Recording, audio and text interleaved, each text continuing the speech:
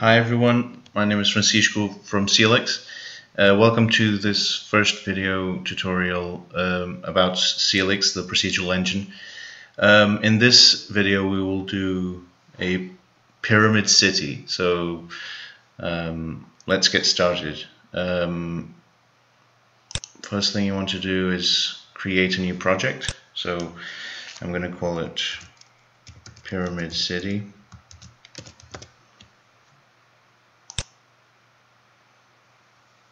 There you go. So now I'm going to create the the graph. We're going to we're just going to use one graph. So I'm just going to call it Pyramid City as well.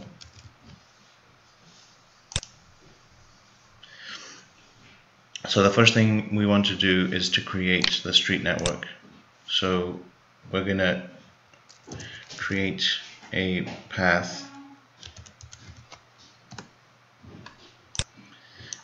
the, that pa uh, path we want the type Voronoi.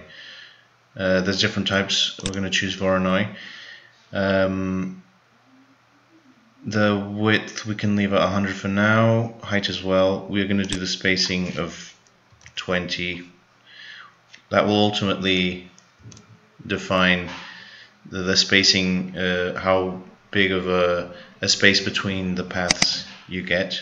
So as you can see, let me get down, down there. Okay, so uh, now that we've got our path, we're going to create a mesh through using that path. So path, so mesh create, and from that we're going to see that the primitive is from the path. So then we can link the previous path that we created to the mesh. And you can see already there's some white lines. Um, I'm going to put the width a bit thicker, so 2. And, okay, there you go, the lines are thicker. Um, and I'm going to say that I want closed inside, so between in between the path I want it closed. So and now I, need, I also need to define the different sections. So in this area here you can define um, the variable that will keep either the string inside or path dep depending on whether the mesh is part of the path or the inside in between the, the, the paths. Uh, so I'm going to call this um, path section. Okay. Now we're going to create a node called mesh select so that we can separate the path from the insides. So here we're going to create a custom uh, type of selection and we're going to access wait, first we need to change this condition from fixed to expression um, so that we can actually create the condition that we want so right now I'm going to say that path section needs to be equal to, and I'll show you what the, the string has to be. So it's either inside or path. So in this case I'm going to say if it's equal to path, um, yeah, it separates. Uh, I'm going to choose um, in this case I'm going to choose face. So that will give a new scope to each part of the, the path. Uh, and then I'm going to add a new section which will take on the rest. Um, and that will take on the insides of the in between the path. Um, okay so now that we've got our two sections I'm just going to create a new node, I'm just going to use a new node which is mesh material just to give you a different color for the streets. So now they're red. I'm going to change it to black. There you go. Okay now I'm going to create um, in inside these uh, the, well the insides of the in between the paths I'm going to give it a bit a bit of a, an extrusion so that we can create a sort of a pavement uh, in between the the pyramids and the actual streets. So I'm going to use the node mesh modify and I'll connect that there. You can see that the the amount of extrusion is probably too much so I'm gonna uh, put like half and that's probably too much as well but let me just see.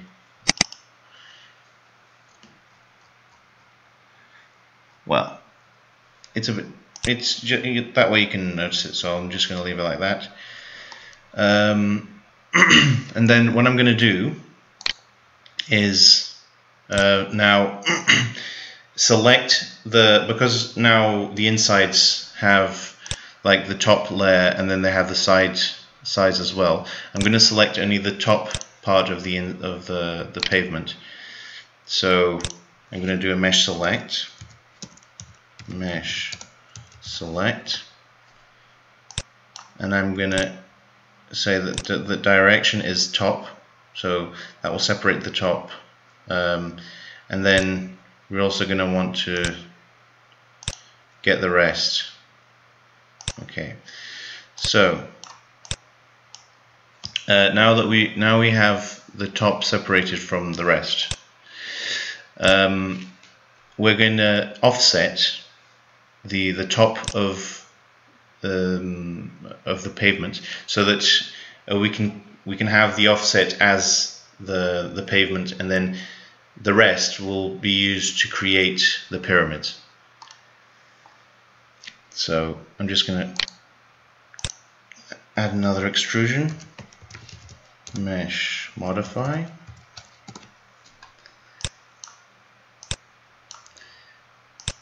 Yeah it's already wait first of all now first I'm gonna exactly first I'm gonna it's not the extrusion that we want it's the offset uh, exactly. So we want, we want a negative um, offset so okay so now that we've got the offset um, we can select we can separate the the offset part from from um, the inside, the rest of the inside. Okay, so in here we will want to add a custom. First of all, we need to, again, in this operation, the offset, we, we will need to separate, um, we will need to create a, a, variable that will have either inside or outside as a, as a string uh, so that uh, we can separate that with the mesh select. So I'm going to write, I'm going to choose pavement section and here, yeah, we're going to choose expression. And if we put the pavement section equals um, let's say inside.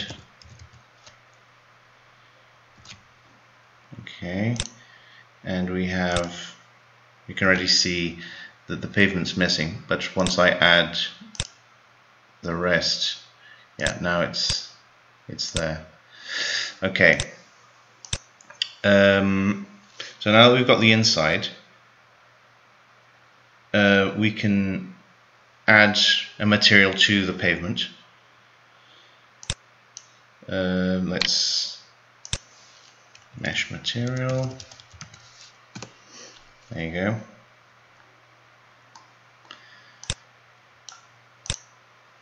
We're going to give it a bit of a grey well it's a reddish grey. Uh, we're going to add it there.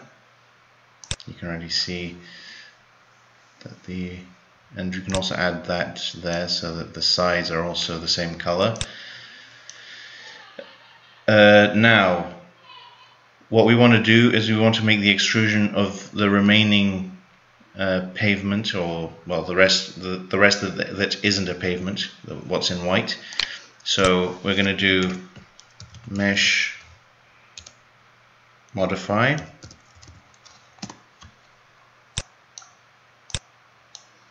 There you go. So what we want to do here is we will have the extrusion but the method um, will remain the same. Uh, will, sorry we would we won't have the extrusion. We will have pyramidize exactly uh, and then we can define the height. Let's say that the height is 20 uh, 20 exactly. So now you can see that the pyramids um, have a yeah, yeah, are a bit higher. We'll give it a bit um, of a different color mesh material. We can choose a yellowish color. Okay. Um, so let's just say that we want um, different heights for these pyramids um, and possibly also different colors. So what we can do is add a random node. Uh, random exactly. And we can add it here. So as you can see um, now that we've got this random node we can add attributes. And we're going to add a float that goes in between 10 10 and 20 and that will be for the building's height. And then we can come over here to the mesh modify and the pyramidized height variable. We'll change it to expression and that we can add b height. There you go when you run it you can see that now they're different sizes. Now let's say that we also want different colors for for the pyramids different tones of yellow so or brown um, or in between. Uh, let's go to integer and say that we want something because we're gonna deal we're gonna use um, the 255 uh, different tones of red green and blue let's let's say that we want colors that go in between 150 and 255 and we will have that be called B color. Okay. Here we can change this to expression and use a list. So red we will have at B color green we will have B color and blue we will have 0. So that will give us different tones of yellow for the pyramids. So with this, uh, this fin finalizes our first tutorial. These are short videos that we want to make um, and uh, with some regularly. Uh, so let us know if you enjoyed it. Um, there's also something that I didn't do, which I can do now at the end, which is, as I mentioned, change this from 100 to, let's say, 800.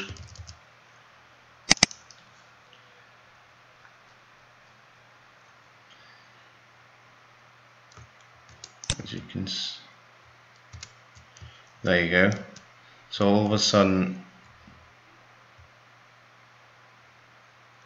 exactly. So you can see now we've got 800 by 800 city pyramid city. Um, there you have it. Um, I hope you enjoyed this first episode. Um, in in this case I didn't integrate it with the Unity maybe I can do that in a in another video Um, let us know what you also want to see us develop. Um, uh, also, also consider that we have uh, we're trying to make the, the videos short, so it can't be something uh, too extensive.